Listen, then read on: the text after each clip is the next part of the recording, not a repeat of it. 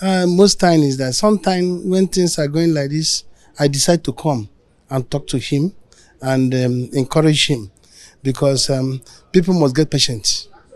That that this Mr. President, I know he, I know how he behaves. Let them give him time. Everything they want, they will see the better of Nigeria. if They give him short time. Let everybody calm down for him. I'm begging Nigeria for people for people to calm down.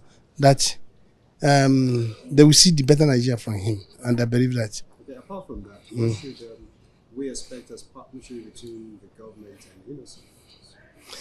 Yes, um, we government is doing their best on Innoson motors, and um, the partnerships are going on. And um, in a short time, in Nigeria, you everywhere you go, you see Innoson motors.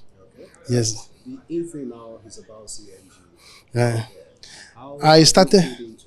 I started CNG about two years ago, and the first person that started about CNG in Nigeria.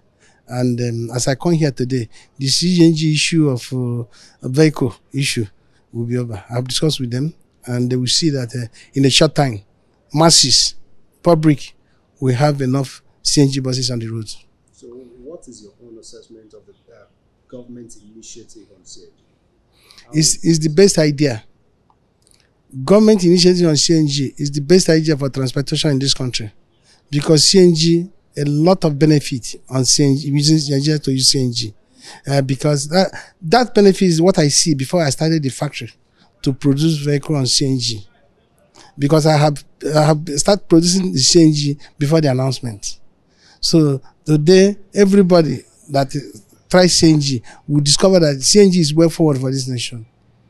Yes, and uh, let everybody get patient because everybody knows that the former government sold oil, corrected the money, don't supply. This government is just supplying; they haven't get the money. So let them give them a chance. Everything will be okay. The way I see him, he wants better of this country. So I'm uh, I'm encouraging everybody to get patient, not to to destroy our things destroy cannot benefit there's no benefit to destroy. Our benefit is to remain and giving chance to good to become to plan for the future of this country. That's my own point.